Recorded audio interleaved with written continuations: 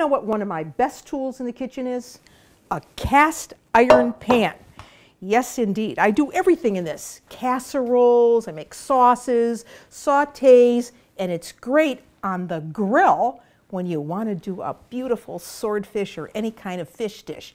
So, the first thing we have to do is get the grill going, and then we're going to put this seasoned pan on that grill empty for about 10 minutes while we make the sauce for our fish.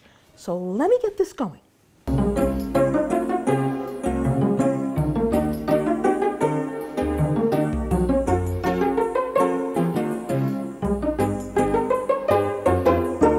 So one of my favorite things to do on the grill is Sicilian style swordfish, pesce spada, because this is the golden fish of Sicily. When you walk through the Ballarò market, you see these swordfish with the heads and the spikes way up in the air, the swordfish itself. Beautiful fish. So this is a signature fish of Sicily. So we have about five ounces of swordfish here. That's uh, each one of those is enough as a serving. So the first thing I'm going to do, because I'm putting this on the grill, is I want to dry the fish off with paper towels because we're going to put this into a dry pan. And if the pan is really, really hot, the fish is not going to stick. So dry the fish off really well. I usually just leave a paper towel there and set it aside while we make the sauce.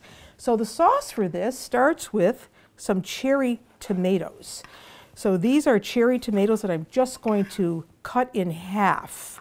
Now, if you were in Sicily, of course, you would be getting some really, really sweet tasting cherry tomatoes. One of my favorites is the piennolo, the piennolo, which has a pointed end at the very base of the tomato. And they're sweet as sugar. And this is the tomato that a lot of Sicilians like to dry. So there are all of our tomatoes. I'm going to put them back in the bowl here. So tomatoes is one of the key ingredients. And now let's talk about some of the other things that are going to go into this. Here we have a green olive called Cerignola. You find this in southern Italy, but you could use any olive you wanted to. They're not super duper bitter. They're bitter enough though. And you can buy them either pitted or with the pits if you get them with the pits, of course, you're going to have to take the pit out, which means you're going to have to slice around them or use an olive pitter if you have it. I just use a can and smash them. Then we need some capers because capers are very popular in Sicilian cooking. You know why? Because there's a little island off of Sicily called Pantelleria, where it's very windy, and that's where capers grow very well. So you can either get capers in salt like this, you see, capers and salt, which you will have to rinse very well. Or you can buy capers in brine that you don't have to do anything to. So either one is your choice. So we have capers here. And then we have some raisins. Now you're thinking, what do raisins have to do with a fish dish? Well, this goes back again to that underlying flavor that you find in Sicily, which is called agrodolce, sweet and sour and this is the sweet element. And we need some wine.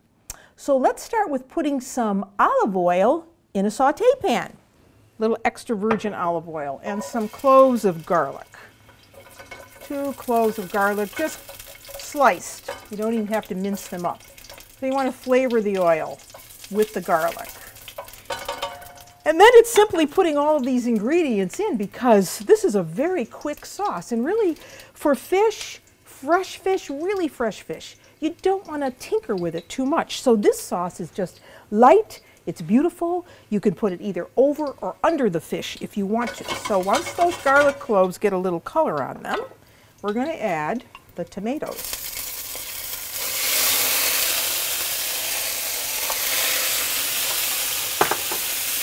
And we want these to kind of soften a little bit, so turn that down.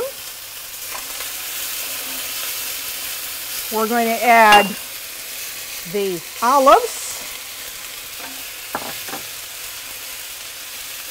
A very quick sauce, and very pretty, by the way. The capers, which have a little bit of a bitter taste to them,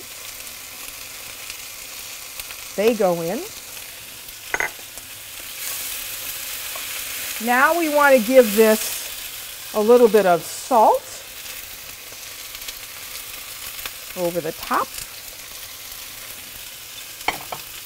Some white wine.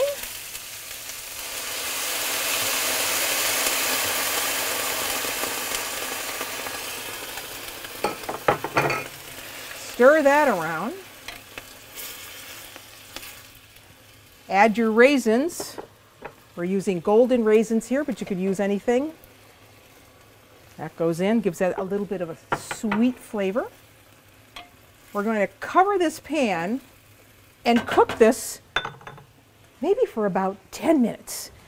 And then it's going to be ready to go over the fish.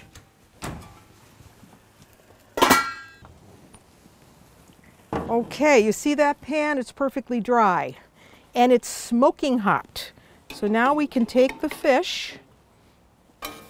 This is going to take about three to four minutes on each side.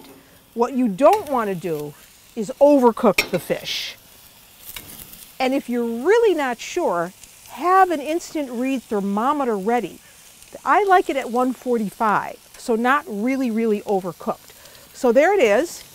I'm going to lower the top, sing a song or two, and then I'm going to flip that fish over and cook the other side.